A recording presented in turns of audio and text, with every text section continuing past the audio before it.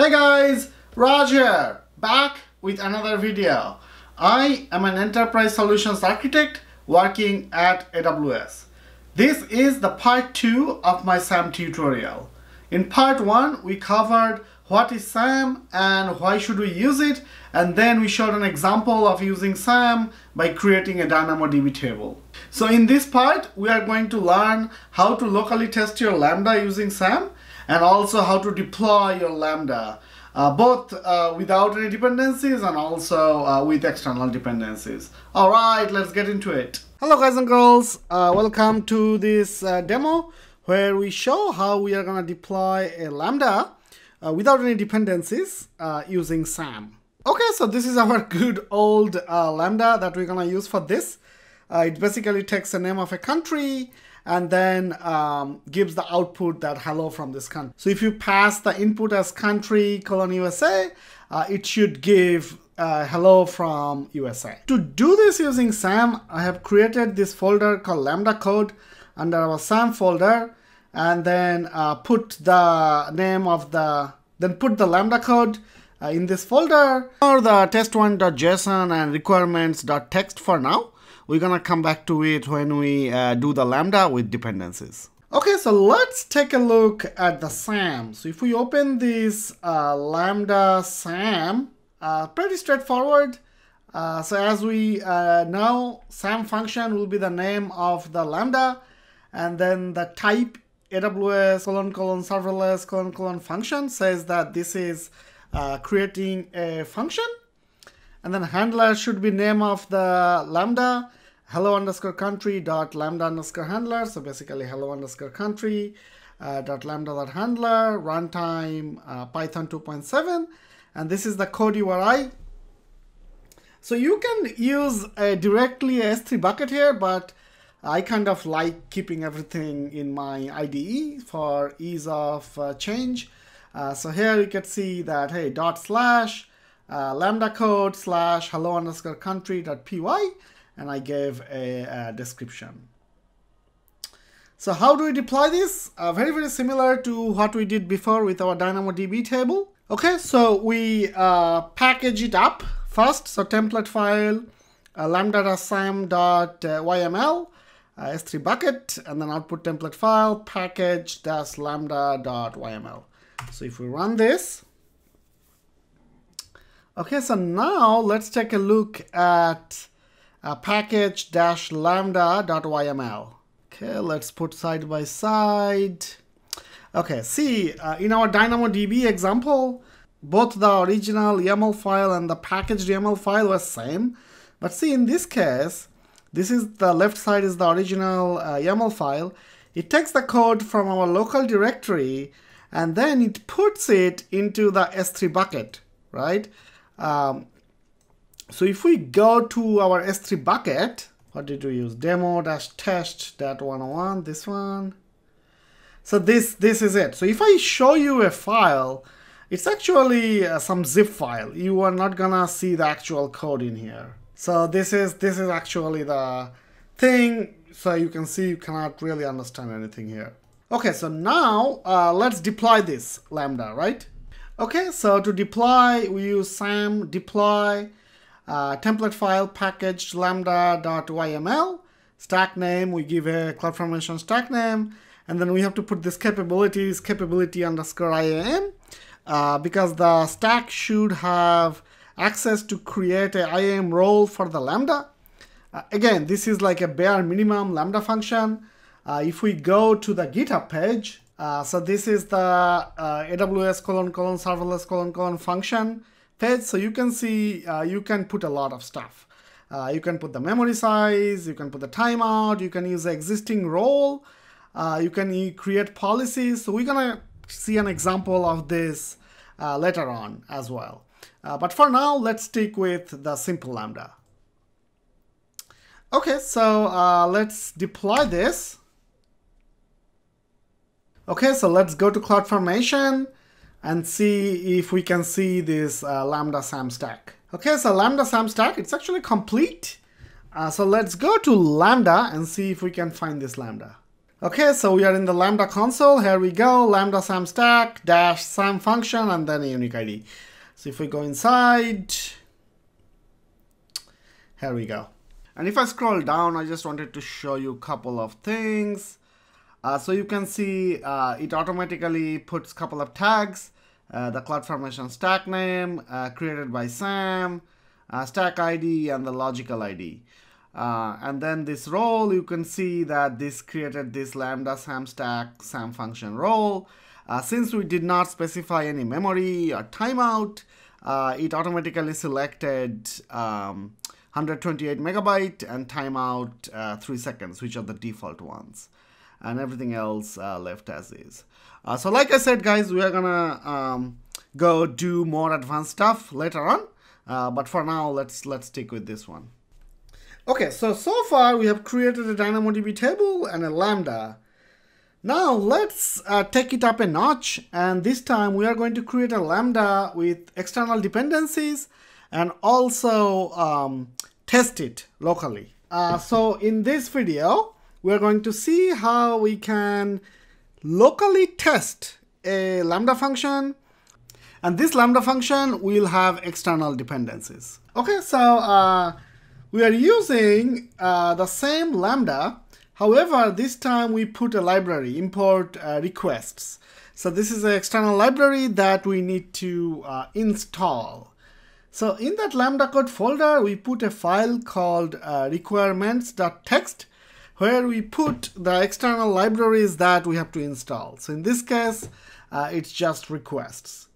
And to test it, we also created a JSON file called test1.json where we are passing the input event or the input JSON. So to install external dependencies, uh, we cannot just do SAM package like we were doing before.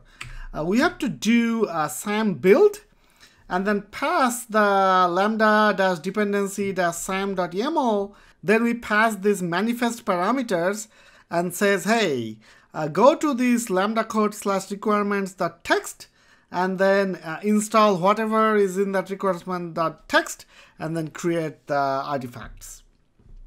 Uh, so let's take a look at the template. So this is our template, uh, Lambda dependency SAM.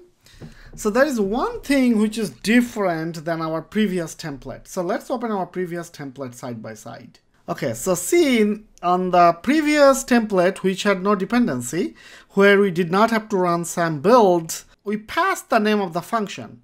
Uh, but here, we don't have to. So uh, it automatically go and picks up the name of the function. So if you are using multiple function, uh, you should create multiple folders and pass the name of the folder. Uh, if you try to give the name of the function here, uh, this will error out. Okay, so uh, back to our SAM build command. Uh, so let's run this. Also note that at this point, the only folder which is under SAM is this Lambda code. Let's run SAM build. Okay, so now as soon as we run this, it gives us, hey, build artifacts dot aws sam slash build, and then the build template is build slash template dot uh, YAML. So see, it created this dot aws dash sam folder. So if we go this, uh, this is the SAM function. So you can see it downloaded uh, the requests external library and uh, it created this template.yaml. And the code URI is the SAM function folder. So now when we run the SAM package command, it's gonna take all these uh, libraries and stuff from the SAM function folder, which includes the external dependency, zip it up and put it on the S3 bucket. So now let's test it out. So uh, how do we test it out? So SAM, one thing I like about SAM is it always tries to give the next command. So it says, hey, invoke function is SAM local invoke and package is SAM package. Uh, so let's do um, uh, invoke. So you use the SAM local invoke and then you pass this uh, input to the lambda as dash dash dot slash lambda code slash test one dot uh, json. Okay, so uh, you could pass either from this uh, test1.json or this, doesn't matter because you can put the path. So let's try to invoke this. So one thing to note is that this pins up a, a Docker container image uh, which runs Python 2.7 and then it calls the function. So important thing to note, we have not deployed our function, uh, right? And we are testing this locally. So this is how uh, you test your lambdas locally using SAM.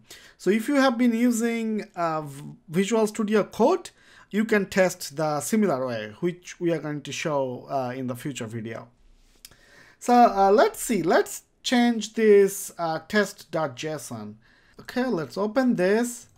How about instead of USA, we say uh, India, okay? Control S, so this time it should say hello from India. Here we go, hello from India. Okay, so now that we tested this, uh, let's try to uh, deploy this, right? And remember, this will deploy using uh, template.yaml. So at this point, we installed the external dependencies for a Lambda using SAM, and then um, we tested the function locally as well. So now let's package it and deploy it. So uh, this is very similar to what we did before, SAM package, and then the template file. So the template file it created under .aws-sam, and then build. So one thing to note is uh, it actually created the name as template dash template.yaml. Um, so uh, make sure you you give the name that it's yeah, that's that's present. And then we are using our S3 bucket and then the output template file package dash lambda dash dependency dot yml. So let's run this. Okay, so we have packaged, so let's open that. So code URI is pointing to the S3. So let's do uh, SAM deploy. Uh, okay, capabilities.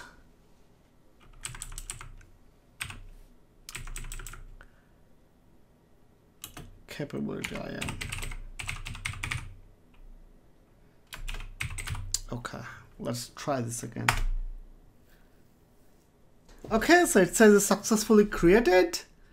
Uh, let's check cloud formation. Okay, create complete.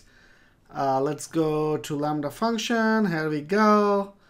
Uh, Lambda depend. So let's see. So here you go, import request, and you see all the uh, requests installed and deployed. So what did we do so far? So just a status check. So we learned what is SAM, why we need it. Uh, we learned a couple of SAM template concepts. We did the SAM local testing. And then uh, we did deploying using SAM, Lambda without dependencies and Lambda with dependencies. And we did the DynamoDB. So uh, on the next videos, what we're gonna do is learn about events. Uh, what do I mean by events? Um, when you uh, trigger your Lambda from S3 or an API. Um, and we're also to learn about uh, local debugging. All right, guys, uh, this is the video. Uh, I'm gonna keep making uh, more tutorials on SAM. If you like the video, please like and subscribe. Alright, I'll see you guys in the next video. Peace.